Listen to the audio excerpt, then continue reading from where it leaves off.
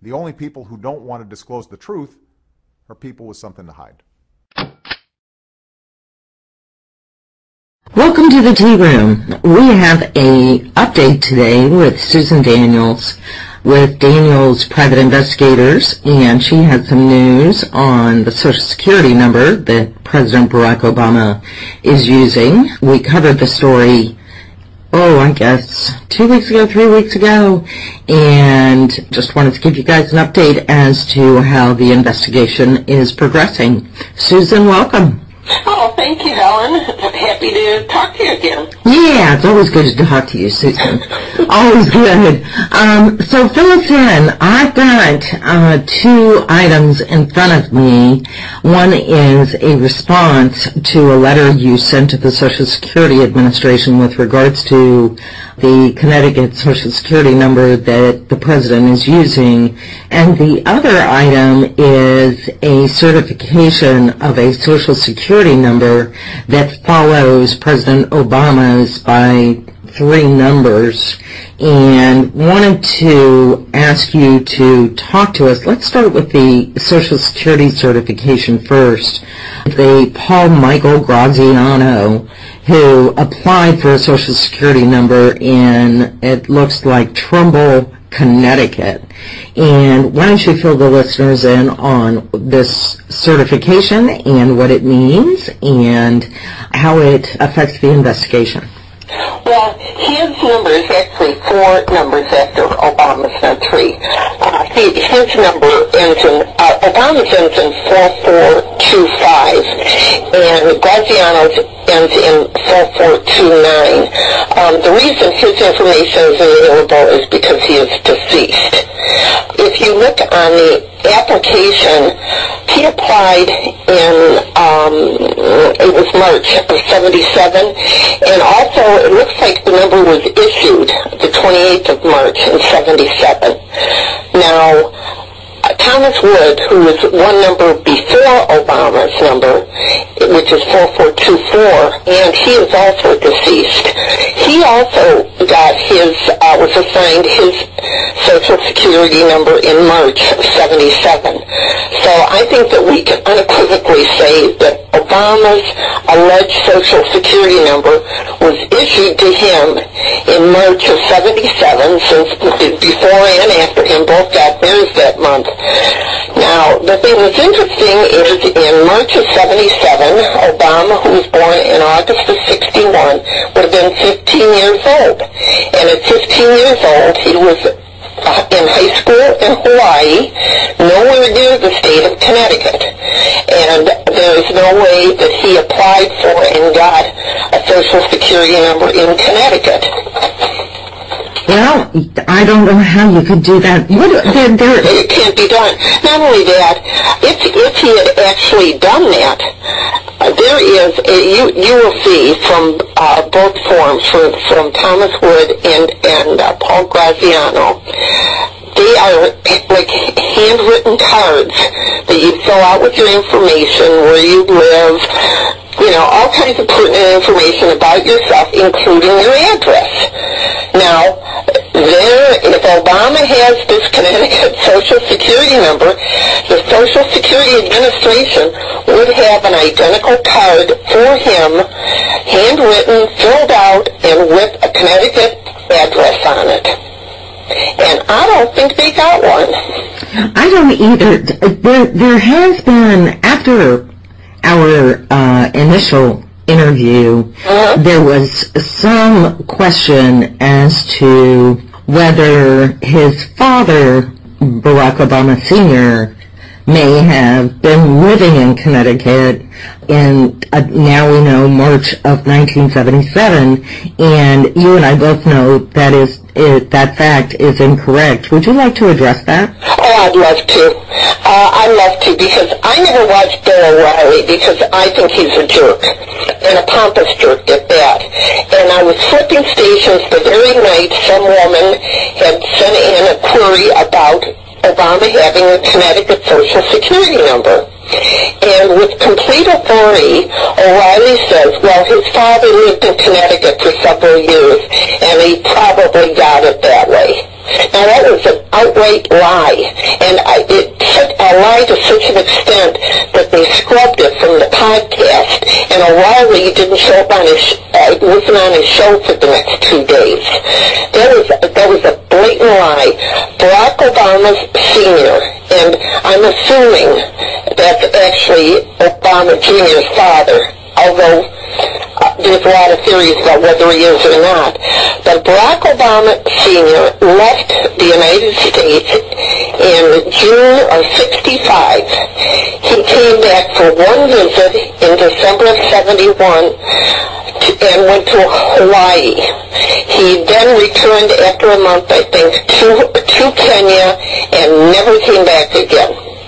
Uh, there is no mention of Connecticut in the, uh, Obama's book, Dreams from My Father. He never mentions it anywhere. And I don't believe he ever was in the state when he was running for election or had been elected. Fascinating. Well, now, the other item uh, with regards to an update is you sent off three letters to one to the Social Security Administration, another to the Department of Justice, and a third letter, I believe, to Selective Service. No, actually, I sent, I never sent anything to Selective Service. I sent two to the Department of Justice, Eric Holder, and his, his whoever was in charge of criminal investigations. I, I, I don't have the name off the top of my head. And I did the same thing with Social Security. I sent it to, to Astrue, who was in charge, and uh, one of his minions. I wanted to make sure that somebody at one of these, either one of these organizations got a letter. And I got a response today. Tell us about that. Which surprises me because I probably sent those off more than a month ago. But uh, the, the letter I received is some guy who is acting associate commissioner, whatever that is. That's what this guy is. That's his title. And um, it's hilarious because he writes, after reviewing the information you provided, we disagree with your conclusion that a person's social security number depends upon the address of residence. Period. Mean, that's his entire explanation.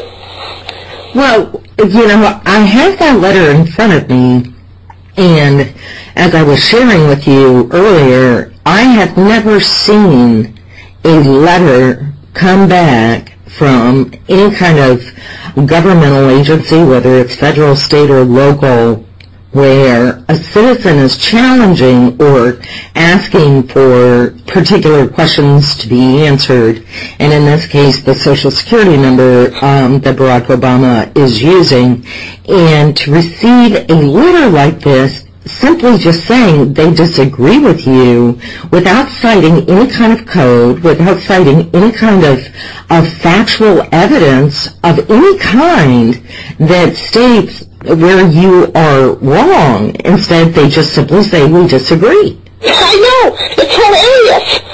I mean, they don't send me to any section of, you know, of the rules of the government. I mean, they, we, we disagree. I thought it was hilarious. It's, I, I think it's stunning. I think it speaks volumes. Well, I think it does too, and I think it, I think that I think they would have been better off not sending me this letter because it is so weak that it actually supports my position. Yes, it does. I do agree with that.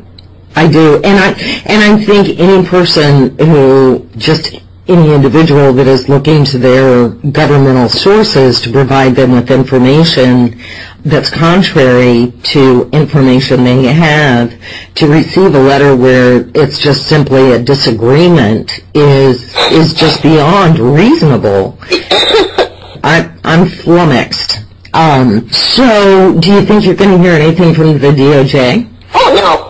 I didn't expect to ever hear anything from anybody. But you know what? I wanted to put them on, I mean, I didn't want them to ever be able to say, well, nobody asked us to, to investigate. I, didn't, I wanted to be able to prove at some point in the future that I had made a legitimate inquiry of both sections of the government. Fortunately, he sent us back because what he does is verify the fact that I had sent a letter asking for an investigation. And I think that was really nice of him. I do too. Wow, we need to we need to do a tribute to this fellow. well, his name is Frank Bureau, so I think we're going to call him the hero of the week.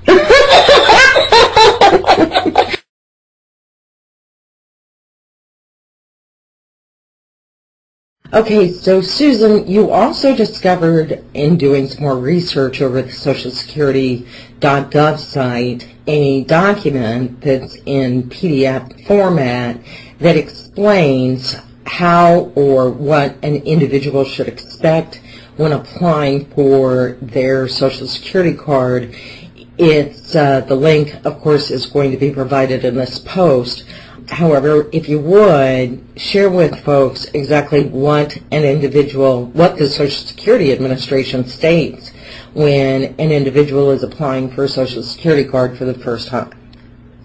Well, it, it tells us about the application that you have to fill out, which is called an SS5.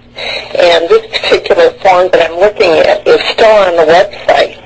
And what is really interesting to me is it says, note, if you are age 12 or older and have never received a Social Security number, you must apply in person. So what that means is Barack Obama, who allegedly got the Connecticut Social Security number in March of 1977, when he would have been 15 years old, he would have had to go from Hawaii to Connecticut to live there and apply for and receive a Social Security number from there. You, when you say that he had to go to Connecticut, you mean he would have physically had to have had an address or walked in a door at, in, in a Social Security office in the state of Connecticut to be able to secure or obtain a Connecticut Social Security number. Yeah, that's exactly what I mean. And he, he would have needed to have documents with him to prove his age, identity, and U.S. citizenship. You know, it, it also goes on to say her current lawful work authorized immigration status. But since he says he was born here, he would have had to have his uh, uh, birth certificate and one other document to prove who he was, and he would have had to be there in person. Well, then that takes care of that little nugget of, of information. Yes. Okay, now moving right along, we also... I mean, people want to say that, you know, his, his mother, his father, a relative, somebody got it for him. Uh-uh. This, here's the, you, and it's still on their site, so it still must be the rule that you have to apply in person. Again, it says if you are age 12 or older and have never received a Social Security number, you must apply in person. So, and that also goes back to the conversation I had with the Social Security Administration uh, locally a couple of weeks ago when I called them to ask them some questions with regards to Social Security numbers. That when I was born, I did not apply for my Social Security card until I was eh, 16, maybe 15, 16, just before I got my first job. And the person that I spoke with at the local Social Security office shared with me that that would be a rarity in today's time, primarily because the um, kids, when they are born, uh, most of them are given Social Security numbers, you know, within those first couple of years because their parents, in order for their parents to be able to claim them on their tax returns, they have to have a Social Security number. Yeah, it's not a it's not a matter of most of them get it. They all get it. They all get one before they leave the hospital. They have to, they have to fill out the. Yeah, y- y- who knew? I did not know that. That that that should tell everybody. Don't have any kids. Uh, I have grandchildren. Yeah. I felt this way when my children were young because they they didn't get them until they were older. I was I think I was 14 when I got mine. But when they started requiring the social security uh, numbers on the uh, IRS forms, that's when they that's when they made it mandatory. Uh, Well, and like I said, that's certainly what the gentleman shared with me when we chatted. Now, we also have another document that you have discovered or has come your way. It says that since 1972, Social Security numbers have been issued centrally, and the area number and Social Security numbers assigned since then correspond to the residence location of the applicant as indicated on the application for the SSN, which means where you were living when you applied for it is where it is, uh, it is assigned to you. So again, he would have had to have been living in Connecticut to get the number that he is using. And since he was 15, I don't think so.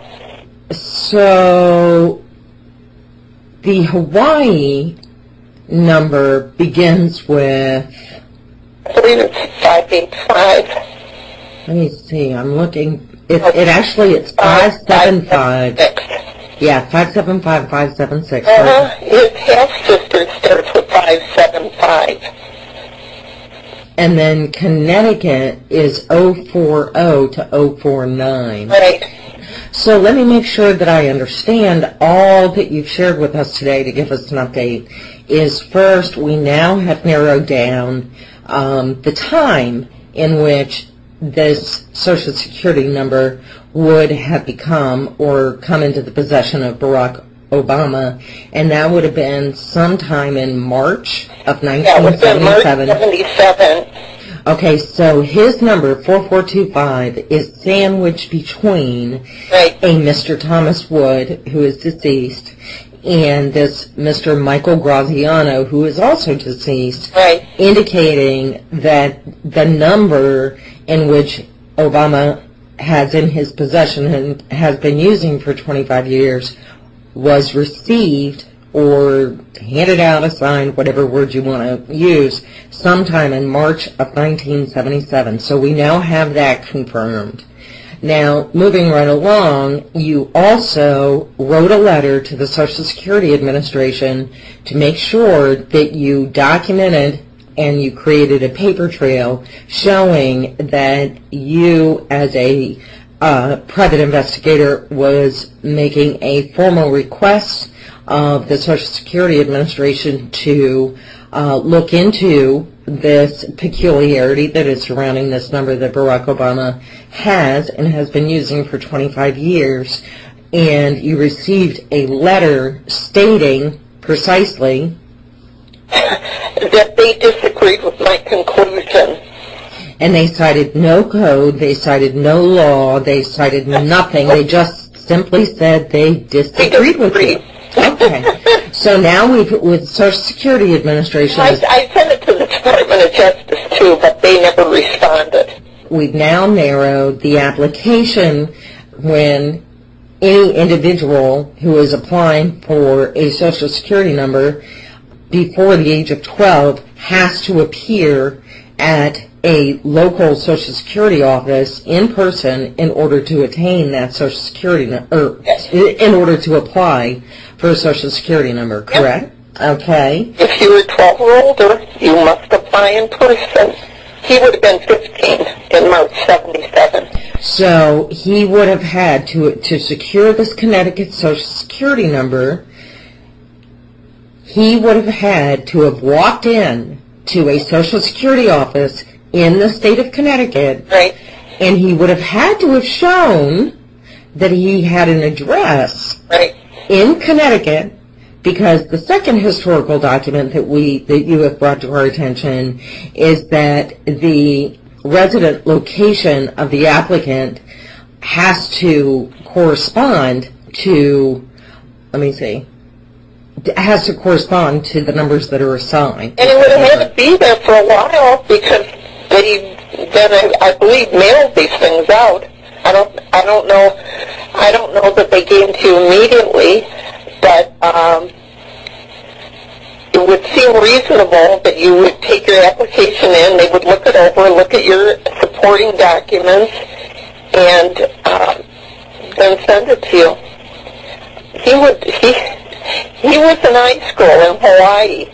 I can't see him flying to uh, Connecticut, establishing a residence, and applying for the number there. He was This doesn't compute. no, no. It, I, I I would agree with that. Well, is there anything else you'd like to add, Susan? Uh, no, that, that's all I have for now. Well, very good. Well, as always, the tea room uh, appreciates all of the work you're doing. It's it's and and all of the other individuals that are contacting you and privately sharing information with you. I just a huge kudos to all of you, and know that the tea room will continue to provide updates um, with the work you're doing, so that uh, we we keep a record that folks can refer back to, especially with the upcoming elections. So with that, I thank you so much, and everybody have a great day. Oh, thank you, Helen. I always appreciate you taking the time to talk to me. The only people who don't want to disclose the truth are people with something to hide.